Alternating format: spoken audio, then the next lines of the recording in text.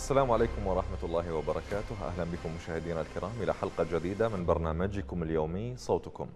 نعرض لحضراتكم أبرز ما تم تداوله في مواقع التواصل الاجتماعي بشأن العراق وننتظر مشاركاتكم. بشأن ما سنعرض في حلقتنا لهذا اليوم من خلال الأرقام التي تظهر أسفل الشاشة أمامكم الآن وأيضا من خلال خدمة الواتساب أو الرقم المخصص للواتساب بإمكانكم أن ترسلوا لنا ما لديكم من تعليقات من تفاعل بشأن حلقتنا عبر هذا التطبيق الذي سنقرأ رسائله إن شاء الله الواردة طبعا في هذه الحلقة. نبدأ مشاهدينا الكرام من المقاطع المتداولة في مواقع التواصل الاجتماعي وأول ملف لدينا هو التظاهرات في محافظة ذي قار. خرج عدد من الخريجين في محافظة ذي قار للمطالبة بتوفير فرص عمل لهم وتعيينهم وفق اختصاصاتهم. أقدم المتظاهرون على إغلاق مبنى مجلس المحافظة والتظاهر أمامه احتجاجا على عدم تلبية مطالبهم. لنشاهد.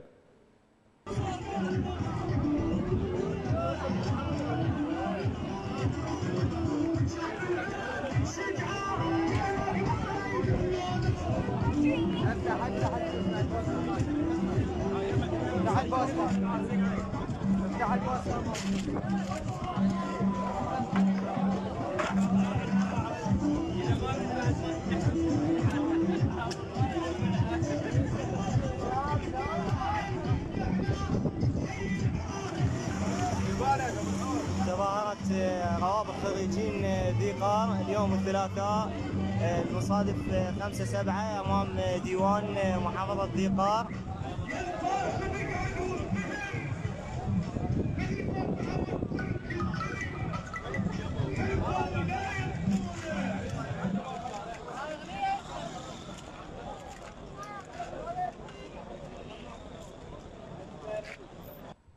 مشاهدينا كان هناك تفاعلا في موقع فيسبوك بشأن هذا المقطع. دعونا نتابع بعضا من التعليقات التي وردت بشأن هذا المقطع. بشرى الفهد تقول إن شاء الله اليوم يصير حل أو تخلص هاي الشباب من الحر والضيم. طبعا إحنا حنسوي تعديل بسيط على تعليق بشرى باعتبار أن اليوم انقضى ولم يكن هناك أي حل فنقول إن شاء الله يوم اللي يصير حل وتخلص هاي الشباب من الحر والضيم. في تعليق من سولاف حسين تقول ربي يحفظكم ويحقق مطالبكم والتعيين إن شاء الله. في تعليق من سارة الخاقاني تقول الله يعينكم على هذا الحر وعلى فساد هاي الدولة. آخر تعليق لدينا من فؤاد سالم البحراني يقول موفقين وإن شاء الله تحقيق المطالب والضغط على الحكومة القادمة. دعونا الآن مشاهدينا ننتقل إلى ملف آخر حقيقة هو ملف إنساني. وأيضا ملف يؤشر مواطن الخلل في إدارة المحافظات والبلديات بشكل أخص. محافظة البصرة تحديدا إلى بلدية المحافظة. قام مدير أحد القواطع في بلدية محافظة البصرة بفصل أحد العمال من عمله دون سبب مقنع كما يؤكد هذا العامل الذي يعاني من مرض الصرع. فور معرفة العامل بخبر إقالته تعرض إلى انهيار صحي كما ستشاهدون في هذا المقطع. طبعا المواطنون والناشطون انتقدوا هذا القرار وهذه الخطوة من بلدية البصرة بسبب الحال المزري الذي يعيشه هذا العامل وأهله والذي كان يجب أن يكون له راتب لأنه يعاني من مرض مزمن بدل أن يتم رميه في الشارع بهذه الطريقة التي ستشاهدونها. قاطع البلدية. هذا العامل لحيته صاعده عليه وما عنده رجال زين. 5000 اعطيناه. دقايق من الحلاق طاح فيه بطلوا. وعنده صرع؟ وهذا راح يموت راح العامل راح يموت بصرع تتحمل مسؤوليته كافة قسما بذات الله. سبق وسويت له مناشدة إلى وللعمال. هسه وردنا اتصال؟ قالوا بطله شوف تفضلوا كفر سنه لعبه كفر تعال إبراهيم صور. شوف اقتل القهر بصرع. ولك الله أكبر. مشاركك بالنفض ومشارك في القعده اللي بدكم إن شاء الله يا بلدية البصرة. يا سيد علي شوف الناس مدير قاطع يركض ورا العامل وعايف التجاوزات وتفرد الناس. والغض النظر كله نعرفه معكم. صوره صوره خلونا نمشوا خلي يشوفونه هذا لأنه ما عنده زيان زين شالت للناس 5000 زين. شلون تقعد الزين هو بطلها هو وياه ثلاث نبرات بعد. صورة صورة خلي يشوف المعا- معاناة العامل التنظيف مال البلديه العالم تقول البصره وسخة شلون ما توسخ؟ هواي ناس مرضى وبالضيم حالهم ورواتبهم ضعيفة. يا المهتم محافظ البصرة رئيس وزراء برلمان. دعونا نتابع بعض التعليقات التي وردت بشأن هذا المقطع مشاهدينا الكرام. حيدر العيساوي يقول والله هذا الشخص أعرفه اسمه عادل خطية مريض بالصرع وعائلته كلش فقيرة قاضيها بالإيجار من بيت البيت الله يعينه. عندنا تعليق آه، من عقيل بيرق دار يقول يعني سفلة الغبراء يلعبون بالمليارات ويقطعون بضعة دنانير على هذا الفقير المريض؟ أبو زينب البصراوي يقول دوائر البلدية تدري إيش قد عندهم أسماء وهمية؟ مئات ويجون على الفقير. الله ينتقم منهم. وتعليق آخر من طلال الشريان يقول المفروض مرضى الصرع لهم راتب من الرعاية الاجتماعية بدل العمل اللي يأثر على صحتهم. أبو عمر من بغداد حياك الله يا أبو عمر تفضل. حياك الله أستاذ محمد وحيا الله قناة الرافدين وحيا الله مشاهديها. الله يسلمك. تفضل يا أبو عمر. آه الله يزيد فضلك اشكرك أستاذ محمد. آه أستاذ محمد آه بالنسبة للخريجين اللي عندنا ببغداد وكل المحافظات اللي موجودة من نعم. 2003 ولحد الآن. طبعا لو عندنا حكومة للخريجين يعني مكانه مهمه في المجتمع العراقي ونعرف إنه العراق هو جمجمة العرب بالعلم والفهم والطب وكل الأمور اللي احتواها وللعراقيين يعني ماضي كلش آه كلش جميل وكلش يعني عالي جدا نعم. بالدول العربية بالدول الغربية لأن ال- الدراسات اللي موجودة عندنا بالعراق دراسات صعبة ودراسات يعني بحيث إنه الطالب يفهمها ومن يفهمها يكون عنده معلومة يتخرج على أثرها بكل الأمور الأمور اللي تخدم آه، الشعب وتخدم الدولة طيب تعليقك تعليقك على استمرار المظاهرات في محافظات عراقية مختلفة بحثا عن تعيين بحثا عن وظيفة. لماذا لماذا برأيك يا أبو عمر اليوم شباب العراق يعني يقاتلون في سبيل الحصول على حقهم؟ ليش اليوم أنت في بلد غني؟ البلد ما يمنع أن أنت آه، تعمل. ماكو مانع اقتصادي يعوق حصولك على وظيفة أو راتب حتى لو مو وظيفة راتب. ليش اليوم ماكو هاي الأمور بالعراق. أستاذ محمد يعني لل- للخريجين واحتراماتي لهم وبارك الله فيهم يعني على هاي ال- الأعداد الك- الكثيره اللي تخرج من العراقيين للخريجين الحرية للخريجين أيضا إدارة الوطن وإدارة الشعب بحق إنه يبذل هاي الطاقات آه، يبذل هذه الجهود من أجل أن يصنع مستقبل له من نعم. أجل أن يكون له وطن ولشعبه ولناسه أيضا وطن للحكومة اللي اللي هي قودته ممكن الحكومة لو كان عندنا حكومة تتفاخر بهاي الطاقات تتفاخر بهاي الخريجين اللي ناس ذات عقول خيرة ذات عقول يعني فاهمة كيف إنه تصنع آه، يعني جيل كيف أن تصنع مستقبل لشعبها كيف أن تصنع الحكومة وتفتخر بهذه يعني الخريجين والكفاءات اللي عندنا تحصل من بغداد والمحافظات اللي عندنا المحرومين من عندها. شوف آه، سيد أبو عمر نعم. هسه إحنا إحنا نتكلم بجزئية الوظائف والتعيين لكن باعتراف الحكومة وليس فقط حكومة الاحتلال إنما حتى التصنيف للعراق بأنه يقبع في مقدمة الدول التي تمتلك فائضا من الموظفين الحكوميين، العراق عنده فائض من الموظفين الحكوميين مقارنة بعدد السكان.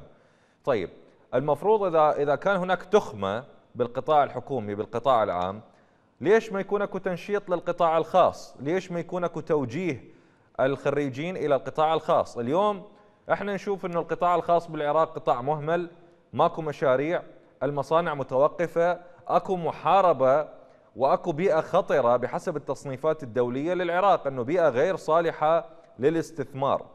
طيب شنو مصير ال ال ال الخريجين لأنه هناك تخمة بالدولة. يعني ماكو مكان يعينون به هذا هذا الخريج. وين يروح؟ شنو مصيره؟ آه، أستاذ للأسف واحتراماتي كل الخريجين الحكومة العراقية وكل الحكومات اللي حكمت العراقيين آه، متقصدة ومتعمدة لم تلتفت إلى هذا الجانب من جانب الخريجين نعم. وجانب إنه تطور هذا العراق العظيم يعني العراق آه، يعني منذ آلاف السنين يعني قدم ووصل مراحل وبدأ أن ينتج. وبدأ أن يزرع وبدأ أن يصدر إحنا قبل 2003 كنا نصدر يعني كانت عندنا معامل حكومية ومعامل أهلية كنا نصدر ما نستورد لأنه كانت الصناعة العراقية لها فخرها ولا امتيازاتها من حيث المنشأ من حيث الكفاءة من حيث الناس الموظفين اللي آه، يعتمدون عليهم بهذه الصناعات وبهذه المنتوجات. فكان الناس عندنا أكفاء فكانت الدولة تدعم هذه ال- الاكفاء وتدعم المصانع تدعم المعامل لأنها تنمو من صناعة البلد وتنمو من يعني من قدرة البلد وعدم الاستيراد المنتوج ال- آه، يعني العام بس يلتفتون إلى منتوج المحلي لأنه هو يطور ويشغل أيادي عامله وصلت وصلت الفكرة أبو عمر من. بغداد. أنا أشكر حضرتك. شكرا جزيلا للمشاركة. ويانا السيدة أم أحمد من النجف. تفضل يا أم أحمد. السلام عليكم أستاذ محمد. وعليكم السلام ورحمة الله وبركاته. حياك الله. الله يخليكم والله بحييكم أجمعين إن شاء الله. أه شوف أستاذ محمد أنا أحاول اختصر لأنه أي طاقة للألم اللي تعرضوه ما عندي. مم. والصراحة أقرر ما أتصل لأنه هم ال... لكن عزاء القرآن. ولا تحسبن الله غافلا عما يعمل الظالمون. لا تحسبن الله مخلف وعده رسله. إن الله عزيز بالانتقام عزاء القرآن وخلي كل مظلوم وكل رافض للظلم مم. نعم. أم أحمد؟ بس يعني أريد من تفضل أستاذ محمد أسمعكم. أم أحمد آه، عندك تعليق على اللي المقاطع اللي عرضناها؟ عندنا لغاية الآن عرضنا مقطعين. واحد يتعلق بمظاهرات الخريجين في ذي قار والثاني يتعلق بحالة إنسانية غائبه اليوم عن اللي يحكمون العراق الإنسانية غائبه عن هؤلاء. واحد عامل في بلدية البصرة يقوم بعملية تنظيف هذه المحافظة من الأوساخ اللي ملأتها حكومات الاحتلال. يفصل من عمله وهو معين لعائلة وفقير ومريض بالصرع. وين الإنسانية بهكذا تعامل؟ حتى لو تم فصله لماذا لا يوجد دعم لشريحة المعوقين في العراق اليوم أو شريحة صاحبي الأمراض المزمنة. ليش اليوم ماكو الخدمات الاجتماعية أو المنافع الاجتماعية أو هاي الرعاية الاجتماعية؟ ليش اليوم ما توفر ما يكفي المحتاجين من موظفين في الدولة من عمال من أصحاب أمراض مزمنة من أصحاب عوق جسدي؟ ليش اليوم ماكو هذا الاهتمام بالمواطن؟ شوف أستاذ محمد؟ العراق مختصر. مم. عباره عن مظلمه شيتها وظل اقولها ما زال اللي قعدوا على الكراسي القوم ناس صناع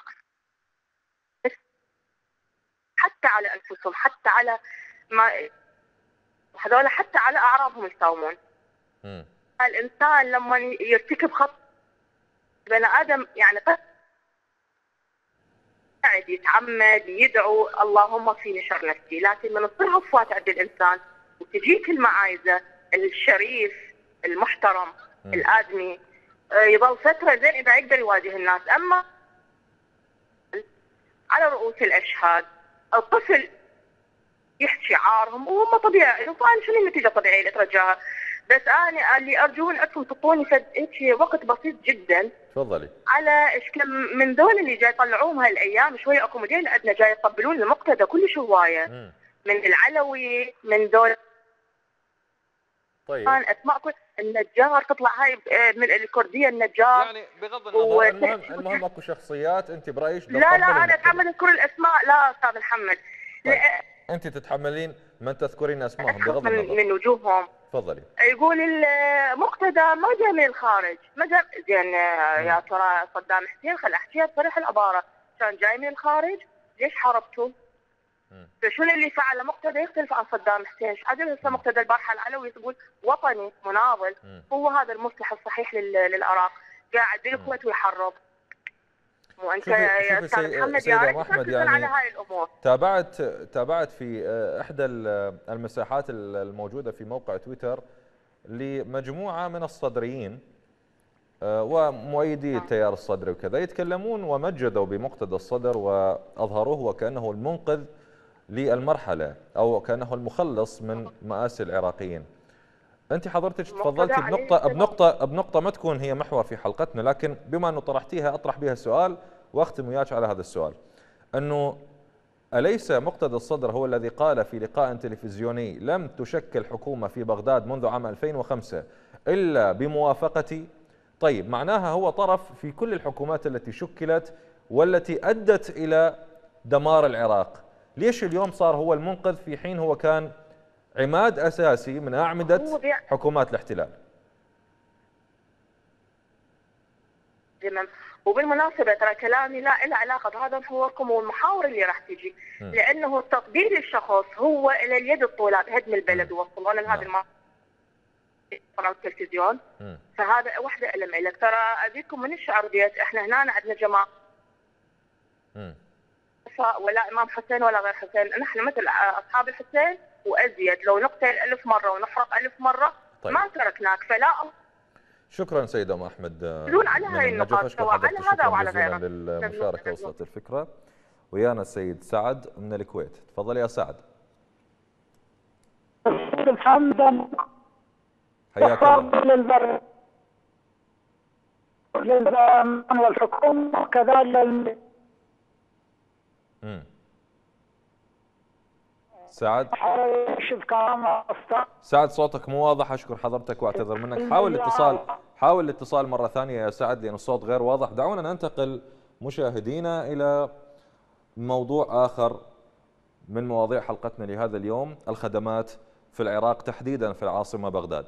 وثق مواطن عراقي بكاميرته الخاصة الواقع المزري والمتردي لأحد شوارع منطقة الشعب تحديدا الشارع قرب سوق 4000 حيث اشتكى هذا المواطن من تكسر الشوارع وعدم إكسائها منذ سنوات حيث تكتفي البلدية بترقيعها فقط إضافة إلى تجاوز باعة المواشي القصابة على هذا الشارع وعلى الرصيف دون تنظيف أو رقابة من البلدية. دعونا نشاهد. الشارع اللي يمسوق 4000 شو كنت راح يجي الفرج؟ ويتبلط حال شارع بلدية الشعب. ما أعرف وين نايمين. والله ما أدري ما يشوفون هذا الشارع. ما تابع لبغداد. ما تابع للبلدية مال الشعب. والله ما أدري. يعني كل حفرة خيالية. ما يفوت منا أحد من البلدية ويشوف هذا الشارع؟ لو يشوفون ويغلسون الجماعة.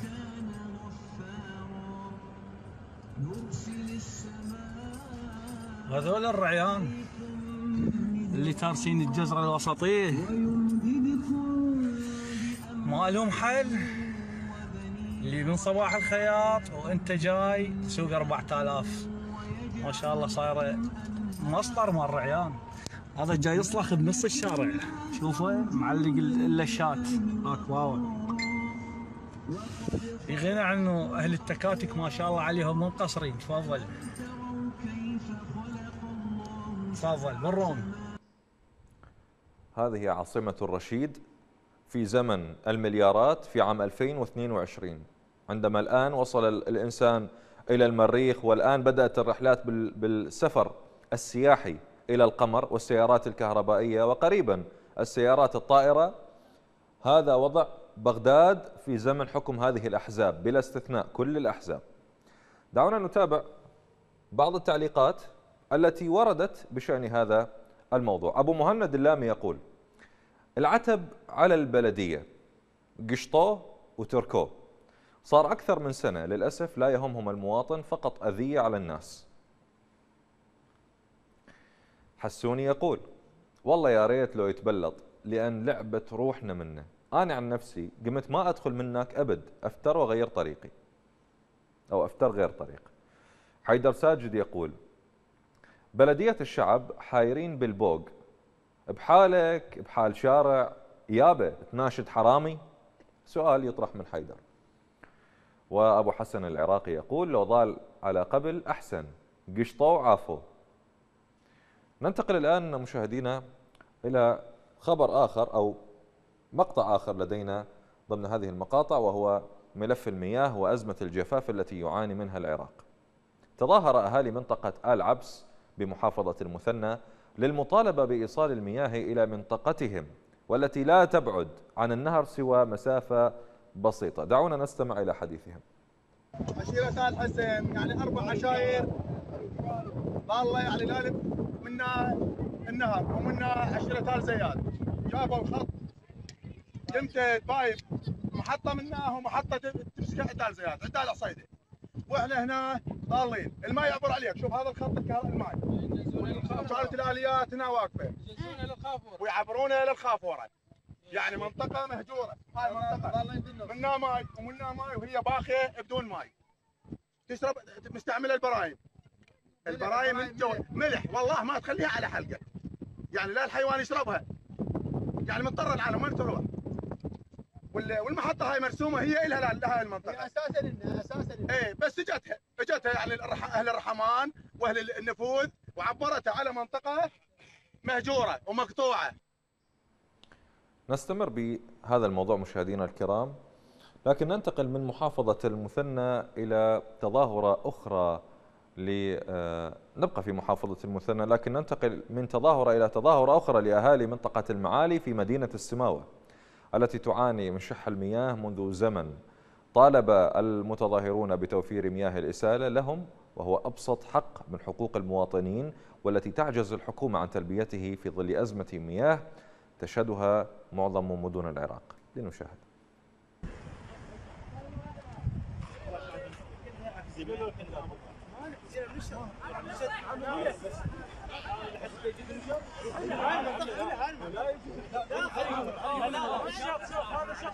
عوف تصوير عوف تصوير سد يلا.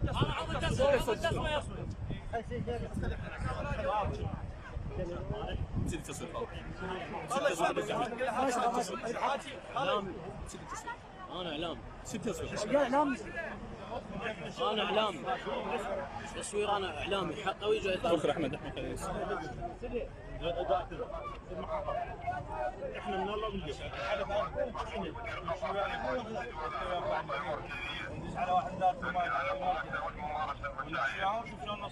أستاذ مكتب المحافظ راح يشوف. زين. ملينا 25 سنه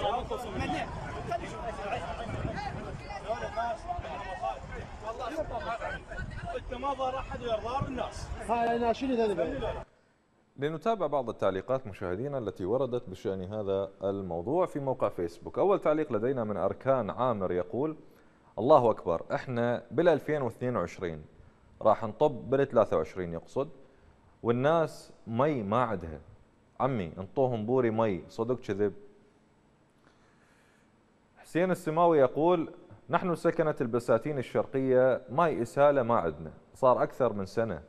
علما أن نهر الفرات لا يبعد سوى واحد كيلومتر مع وجود محطتي إسالة. أحمد العبسي يقول هي السماوة كلها ما بها ماء بس المن تجي. المحافظ ملتهي بس بالخمط مو بحال أبناء المحافظة. وماجد عبد العزيز يقول الشراقية الثالثة بلا ماء وعايشين على السيارات الحوضية. الجدير بالذكر مشاهدينا لنربط ما ما تابعناه الآن من نقص خدمات وما إلى ذلك أن ما يعرف بالإطار التنسيقي الذي يضم الميليشيات وزعماء أحزاب حكمت العراق وتبوأت مناصب فيه رشحوا حزب الدعوة المنضوي ضمن هذا الإطار رشحوا نوري المالكي مرة ثانية لحكم العراق ويقول بأنه المرحلة القادمة هي مرحلة إنجازات. ترى أين الإنجازات التي كان من المفترض أن تكون موجودة طيلة ثمان سنوات من حكم المالكي وطيلة تسعة عشر عاما من حكم هذه الأحزاب اللي هي مو بس الإطار التنسيقي وتحالف الصدر مع باقي الأحزاب. هذه الأحزاب هي التي حكمت العراق. والآن نحن بعد تسعة عشر عاما في عام 2022 لا ماء لا كهرباء لا خدمات مثل ما تشوفون الحال. عبد الرزاق من بابل تفضل يا عبد الرزاق السلام عليكم. وعليكم السلام ورحمة الله وبركاته. حياك الله. أستاذ محمد بالنسبة للخدمات آه، أقول للناس خلينا ينتظرون الحكومة الجاية لأنه هي ادعت فينا راح تكون. آه، راح تكون حكومة خدمات. نعم. يعني وكأنما 19 سنة ما أعرف كانوا يسوون. هسه انضغطوا على نفسهم. وارفعوا بينا والله يقدمون خدمات. يعني شوف هذا اللي تشد بأسهم على الناس كانما الناس سذج وما عندهم عقول فجاي عليهم هذه الرخيصة. يعني آه، تفضل. اختلف نفس العلاقه صحيح كل الامكانيات متوفرة موجودة به ويعاني من أزمة من أزمة لأزمة. يعني أزمة الكهرباء أزمة الماء هاي تفضل هاي الناس اللي هسه جاي يعني نعم. ال- العطش يعني استغاثه مالتها. بأشياء المفروض هاي هذه متوفرة. لكنها يا أخي إيش تقدر تسوي؟ ما عندك حكومة. للأسف فقدنا الاتصال ويا السيد عبد الرزاق من بابل. ن- نستمع إلى السيد محمد من بغداد. تفضل يا محمد. السلام عليكم أستاذ. وعليكم السلام ورحمة الله وبركاته. أستاذ أقول لك إياها كلمتين الوضع بالعراق. مم. يعني إحنا أنا مقتنع خطر الوضع بالعراق بعد 100 سنة ضوئية بعد 1000 سنة ضوئية ما يتغير يصير من اسوء إلى من اسوء إلى اسوء مم. أما نعم. الشغلة الثانية ال- بعض من الفئات المجتمع العراقي. يعني أنا حسب ما يعني أحكي بعض الناس أسأل بعض الناس آه، هذول نقول عليهم شلون ال- آه، يعني علقت علقت حالهم. من البسيطة اللي ينام مو واعية كلش يعني. الناس متفرقين يعني تعرف وضع المجتمع العراقي انواع نعم يعني. نعم. فأسأل الناس شو يقولون؟ أسأل ال- بعض الناس. يقول لي يقول لي محمد إحنا إحنا إحنا خالين هذا الوضع هيك متداور إحنا إحنا نعرف هذا الوضع متداور بالعراق ما ما نسوي شيء. إحنا منتظرين شغله واحدة. شنو هي الشغلة اللي منتظريها؟ لي ظهور الامام المهدي أنا مو ناوي توقيع على هذول. شلون شلون؟ يعني شلون؟ ظهور الامام المهدي ظهور التوقيع هذا ماذا يعني. ما سمعت ما سمعت. يا شباب. إذا أحد سمع يقول لي. الصوت ده يقطع. شنو شنو اللي ينتظروه؟ ظهور الإمام المهدي. آه ظهور الإمام المهدي. نعم. آه. يقول لك قلت له يعني أنتم منتظرين الإمام هو يصلح وضعكم ليش أنتم تصلحون وضعكم؟ يعني في أكو فئة من الشعب العراقي المدمرة، ليش أنتم تصلحون وضعكم؟ يقول إحنا ساكتين على مود هاي الشغلة. طيب يعني. يعني رب العالمين رب العالمين هو بعيدا عن الشأن الديني بهذه الحلقة واصلا بكل الحلقات يعني لكن إحنا نتكلم عن جزئية إنه رب العالمين يحث الإنسان على العمل على السعي حتى يعينه وحتى يحقق بالإرادة الإلهية يحقق ما يصبو إليه الإنسان بالعمل الجاد والمجتهد وطبعا العمل الحق مو العمل الباطل طيب الإنسان غير يسعى غير يعمل غير يجتهد حتى يتحقق له اللي يريده لو هو قاعد حاط رجل على رجل ويريد العراق يتحرر من الفاسدين مثلا. لو يريد إن المي يجي وحكومة نايمة على إذنها والدول المحيطة بينا تلعب بكيفها. لو الكهرباء تظل وزارة الكهرباء والحكومات المسؤولة تبوق بينا تبوق بالخزينة مال العراق تبوق بأموال العراقيين ويريدون الكهرباء تتحسن. الإنسان غير يسعى يعني ذولا اللي يفكرون بهذه العقلية شلون يريدون بلدهم يصير براسه خير إذا هم منتظرين المعجزات حتى تتحقق؟ ما كنت أقول لهم قلت لهم يا حبيبي أكو دول هوايه تغيرت هوايه غيرت أنظمة. قال لا إحنا خلتنا تختلف يعني هاي عقول. هاي العقول اللي اللي- موجودة طيب حاليا. طيب يعني والله أنا ماشي. هسه إحنا هسه إحنا مسلمين. إحنا إحنا. مسلمين. سيد محمد إحنا مسلمين. لكن تعال نروح لبلاد الكفر خلينا نقول. خلينا نسميها بهذا الاسم. أمريكا ال- اليابان والمانيا في الحرب العالمية الثانية بلدان انضربت وحده انضربت آه، آه، نووي والثانية أبيدت تقريبا بسبب الغزو بسبب الاقتحام والقصف وخسارة الحرب اللي هي ألمانيا. هاي البلدان الآن أصبحت من البلدان المتطورة بلدان العالم الأول. ذولا ما انتظروا أحد يطلع ينقذهم؟ ذولا بيدهم اشتغلوا. شلون ذولا اللي بالعراق اللي يفكرون بهذه العقلية؟ إنه يريدون يبنون بلدهم وهم دا يسيرون وراء أفكار يعني الله أعلم متى تتحقق هذه الأمور إن كانت موجودة. ال- الموضوع إنه الإنسان ليش ما يعمل؟ ليش ما يتخلص من الظلم؟ طيب يعني أكو تعاليم بالدين اكو أكو آه، أحاديث أكو أحداث حصلت في التاريخ تحث الإنسان المسلم وتحث الإنسان بشكل عام على مناهضة الظلم على محاربة الظالم. ليش اليوم بالعراق ماكو هذا المنطق؟ عد البعض مو عد الكل. واني أني بحكم يعني من أكو كم واحد من واحد خلت الصحتي نعم. ما يستمعون بها فلذلك أكو ناس هيك هيك نمط هيك عقول شايلة. يعني هم نقول لك الأكثرية حاليا. مم. فأنت من أنت من هيك مفكر يفكر البلد هذا يصير براسه خير؟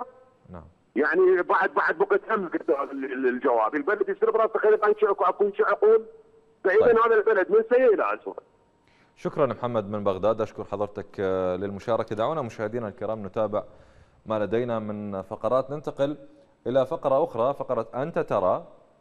مشاهدينا الكرام أنت ترى هي خدمة تقدمها قناة الرافدين لحضراتكم. هو رقم أو مجموعة أرقام مخصصة لاستقبال ما لديكم مقاطع مصورة مثل هذا المقطع اللي حنعرضه رسائل مكتوبة صور لأحداث معينة وثقتوها أو أي حدث شاهدتوه أو وثقتوه بالعراق يتعلق بحالة إنسانية اجتماعية سياسية اقتصادية أمنية بإمكانكم أن ترسلوها لنا عبر خدمة أنت ترى. هذا المقطع وردنا من محافظة بابل أهالي منطقة الإسكندرية والمسيب والسدة نزلوا قرب نهر الفرات وقالوا استبشرنا خيرا منذ ثلاثة أيام أنه أكو مشروع تنظيف ضفاف الفرات لكنهم بحسب قولهم شاهدوا زيادة في النفايات على طول النهر بسبب آه، آه، الإهمال. هذا الموضوع أدى إلى ظهور روائح كريهة، أدى إلى تلوث في المنطقة وهذا الموضوع يؤثر طبعا على صحة الإنسان وكذلك يؤثر على المياه الواصلة إلى منازل المواطنين. دعونا نستمع إلى حديثهم. منطقة سكنية عايشين على هذا المي بالنسبة لنا. هذا المي مو صحي. شوف الزبالة شوف الوصافة. إحنا نريد نشوف الدور الرقابي بالنسبة للموارد المائية شنو يعني ما كل شيء قاذورات. يجي الشط محمل زبالة ووصف و... و... و... وتايرات وفد مو صحيح. هذا شوف شوف الشط قدامكم. إحنا نريد من الدولة كنت تهتم تسوي تنظف الجزرات تنظف ال- ال- الحافات مال الشاط تنظف الشط اللي خلي سيد يمنع الأوساخ تمشي المكان مو في شيء صعب. وهاي قاذورات والناس لا كهرباء اكو لا مي اكو يعني حتى منظره مو وش اشتم اشتم الريحه البي يعني ريحه لتنا خايسه وهذا في التصرف مو صحيح. أقول لو يدرسون الموضوع زين ويعرفون الخلل وين بهاي الهوسة كليتها ويتفقون على على المي وشلون يجيبون المي يوصلوا لي هنا وشو يتنسقون يا الأنهر. شلون يصير الكراخة مالتها؟ نعرف إحنا قبل كراخه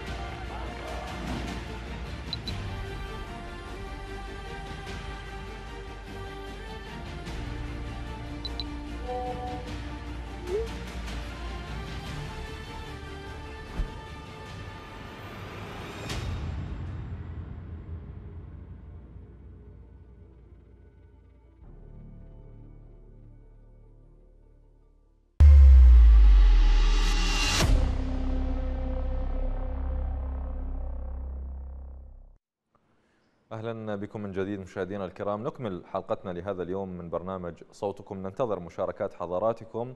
بشأن ما عرضنا من مواضيع تتعلق بالخدمات تتعلق بأزمة الجفاف التي يعاني منها العراق تتعلق بالحالة الإنسانية اللي عرضناها من محافظة البصرة اللي متعلقة ومرتبطة بعامل تم فصله من عمله بدون سبب مقنع وهو مصاب بمرض الصرع و انهار جراء معرفته لهذا الخبر.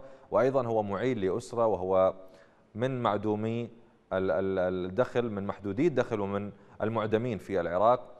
آه، بلدية البصرة تعاملت بشكل لا إنساني مع هذا الشخص. وأيضا حكومة عاجزة عن توفير ما يحتاجه المواطن.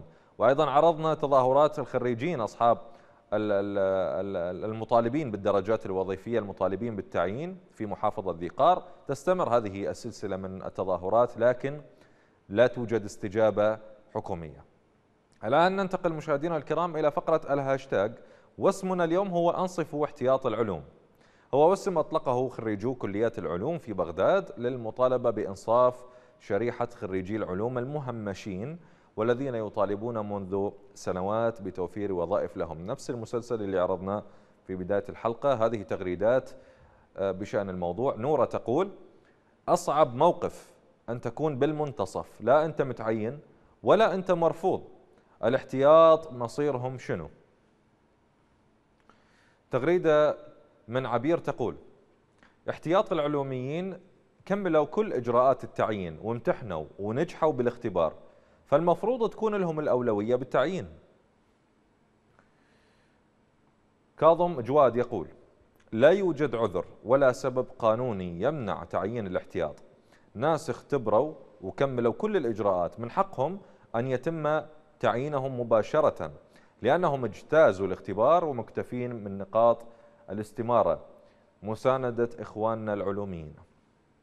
في تغريدة عندنا من كرار يقول إجراءاتنا القانونية رسمية وكاملة 100% حتى من إجراءات المهن اللي لسه ما مصادقين على تعيينهم.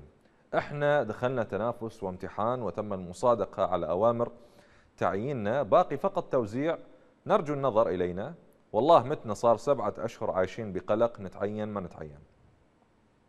العراق في السابق كان يهتم جدا بال- بالعلوم وكان هناك مشاريع لتطوير المختبرات مشاريع لتطوير المراكز العلمية ودعم الأبحاث العلمية في سبيل التطوير. كانت هناك دوافع مختلفة طيلة فترات العراق من 1920 إلى إلى 2003 لكن بعد 2003 تم إهمال قطاع العلوم الابتكارات ال- ال- المعامل تم تحجيم دور أو تحجيم ال- المبالغ المخصصة لهذه القطاعات وبالتالي أهمل هذا القطاع الذي يعنى بالتطوير يعنى بالاختراعات يعنى بالابتكارات يعنى ليس فقط هذه الجزئية ت- تعنى بقضايا أخرى الكيميائية وغيرها. تدخل في طبعا الأدوية تدخل في مجالات أخرى كثيرة. لكن هذا هذا القطاع لأهميته الآن في العالم الذي يسير بشكل مستمر نحو التطور ونحو تنمية المجالات العلمية، نرى في العراق بأن هناك إهمال متعمد لهذا القطاع ولهذه الشريحة من الخريجين، لهذه الشريحة من العلوميين. السبب مجهول لغاية الآن، نحتاج إلى تفسير إلى هذا الموضوع. إنه لماذا يتم الأق- القطاعات التي تعنى بنهضة البلدان، خاصة في العراق إحنا اليوم؟ ليش عندنا هذه القطاعات؟ قطاعات مهملة محاربة لا صناعة موجودة لا أبحاث علمية لا مراكز علمية يتم الاهتمام بها للتطوير البلد. لا يوجد مراكز صحية أو مستشفيات أو القطاعات المعنية بتطوير القطاع الصحي موجودة. هناك إهمال متعمد لهذه القطاعات. نتساءل عن الأسباب وننتظر الإجابة من حضراتكم. معنا اتصال. السيد أبو أيسر من تركيا تفضل. الله يسعدك أستاذ. حياك الله. أستاذ إحنا نعرف هي وكل ال- العالم يعرف إنه المؤامرة كبيرة كبيرة جدا على العراق. مم. منذ عند 2003 ولحد الآن. نعم. أمريكا نفسها خلت نقاط على الحروف يعني يعني أبلغت كل الحكومات المشتركة من ذاك التاريخ لهذا التاريخ إنه هذا سووا هذا ما سووا نعم. هم ما يريدون البلد يصير براسه خير. يريدون الب- البلد مدمر حتى يمشون السياسة اللي هم يريدوها هم وإيران وإسرائيل. فهاي شوف التخريجين ملايين الخريجين هسه أنا أنا أب عندي ثلاث أولاد خريجين ما حد يعينهم. نعم. إلا والله تروح تجيب تزكية ولا تعطي شدات من الدولارات حتى تتعين. في مكان ما من آه، دوائر الدولة. أبو أبو أيسر العراق مثل ما قلت لأحد الإخوة المتصلين العراق عنده تخمة من الموظفين الحكوميين. يعني الموضوع مو أنا يعني هم ما ال- ال- الخريجين أو اللي يريدون تعيين أو يدورون تعيين يقول لي هسه أنت شعلك بهذا الموضوع. يا جماعة العراق عنده تخمة من الموظفين بالإضافة إلى ان هناك قطاع كبير من هؤلاء الموظفين وهميين. وهناك عملية تعيين وفق المحسوبية والواسطة وبيع المناصب أو الوظائف. لكن إحنا سألنا عن القطاع الخاص إنه ليش ما يكون اكو اهتمام بالقطاع الخاص في سبيل توجيه هؤلاء الخريجين إلى هذه القطاعات وأيضا تساهم في نهضة البلد. أستاذ نهضة البلد تجي موافقة مو مو هم بكيفهم. حتى الحكومة العراقية حكومة تصريف أعمال. يعني ما بيدها أي قرار تتخذه حتى تقدر تنهض بالصناعة لأن ممنوع عليها هاي الصناعة نعم. ممنوع ليش ممنوع؟ ما يريدون العراق يتطور يريدون العراق إلى أسوأ ال- يعني ال- الأوقات مم. يعني اليوم برأيك يا سيد أبو أيسر هل تنصح باستمرار التظاهرات التي تطالب أو اللي يطالب أصحابها بالحصول على وظيفة لو يكون هناك توجيه أو توجه آخر بتغيير اللافتات أو الشعارات التي تحمل والهدف الحقيقي من التظاهرات يكون إسقاط هذا النظام. شنو الفائدة اليوم؟ أنا أسأل هذا السؤال دائما حقيقة. شنو الفائدة اليوم؟ انه يكون أكو وظيفة تعطى لمتظاهر حتى تسكته لكنه يعاني من يرجع للبيت من غياب للكهرباء وغياب للماء للماء والأهم غياب للأمن وماكو نظام صحي وطبعا القائمة تطول من الفشل في قطاعات مختلفة، شنو الفائدة إنه أنا احصل على وظيفة وباقي جوانب الحياة فاقدها وهي أكثر أهمية من الوظيفة. أستاذ موظفي الدولة القدماء اللي موجودين حاليا بدوائر الدولة مم.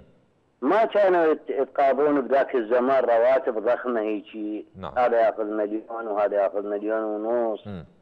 والرشاوي كانت آه، ما مباحة قبل هسه الرشاوي كلها مباحة فيقول لك أنا ليش أطلع تقاعد. حتى يجي واحد بمكاني يستلم آه، مكاني ويتعين من الخريجين فهو بلد فاسد صار يعني ما ما بي أي حلول. سيد أبو ايسر التظاهرات اللي تطلع كلها ماكو لافتات نعم. مكتوب بها باللغة الإنجليزية حتى أوروبا ودول العالم نشوف شكو شنو وهل هذا الموضوع. حيفيد يعني على أساس انه أوروبا ودول العالم ما يدرون شكو بالعراق؟ يعرفون أستاذ بس الجانب الأمريكي. هو المسيطر الوحيد على العراق نعم آه، بذيول إيران سيد أبو أيسر من تركيا أنا أشكر حضرتك للمشاركة طبعا يستمر الحديث عن معاناة العراق معاناة العراقيين في ظل حكم هذه الأحزاب. هي مجموعة من الأسئلة المنطقية التي تطرح أنه شنو اللي قدمته هذه الأحزاب طيلة هذه السنوات. بعض المحللين وبعض المقربين من هذه الأحزاب البعض يقول بأنه ربما المالكي ما كان آه، رجل المرحلة في السابق أو ربما المرحلة الحالية تتطلب المالكي وربما لن تحتاجه في المستقبل لكن يجب أن يكون المالكي موجودا في السلطة وعلى رئيس على رئاسة الوزراء. والهدف من هذا الموضوع هو توجيه المجتمع أنه المالكي رجل مرحلة. طبعا هذا الترويج المستمر. جهة أخرى تقول الصدر مقتدى الصدر هو رجل المرحلة. هو اللي يجب أن يمسك زمام الأمور وهو اللي يجب أن يدير البلد. السؤال المنطقي في هذه الجزئية اللي الطرفين اللي هم يحاولون يروجون لهذه الأحزاب. أنه أنت أرجع بال- بالأرشيف شوية لي وراء واسأل نفسك إنه هذه الأحزاب ما الذي قدمته للعراق؟ نور المالكي معروف من نور- المالكي وش قد حكم العراق وما الذي ضاع في زمنه وما الذي سرق وما الذي أحرق وكم إنسان قتل في زمن المالكي وكذلك مقتدى الصدر للي يعتقدون إنه هو رجل المرحلة الصدر عنده حقه يعتبر إنه حق وزارتي الكهرباء والصحة. هاتان الوزارتان راجعوا وضع الكهرباء وشوفوا وضع قطاع الصحة في زمن مقتدى الصدر وفي زمن الوزراء اللي ينتمون إليه. وكم نائب برلماني امتلك الصدر وقارنوا بس الإمكانيات اللي يمتلكها من أموال ومن ميليشيات مسلحة ومن مناصب في الحكومة. وانظروا إلى مدينة الصدر هاي المدينة اللي هي المفروض مركز مقتدى في بغداد. شوفوا حالها. إحنا عرضنا مقطع من المقاطع حتى أختم الحلقة ويا حضراتكم. عرضنا مقطع في السابق في الشتاء اللي فات. شاب من مدينة الصدر يريد يجيب ريوق. ما قدر يعبر الشارع الثاني من الطين. من الطين ورا زخة مطر بسيطة. أصل وإياكم مشاهدينا الكرام إلى ختام حلقتنا لهذا اليوم. أشكركم شكرا جزيلا. لطيب المتابعة. نلقاكم بإذن الله. إلى اللقاء.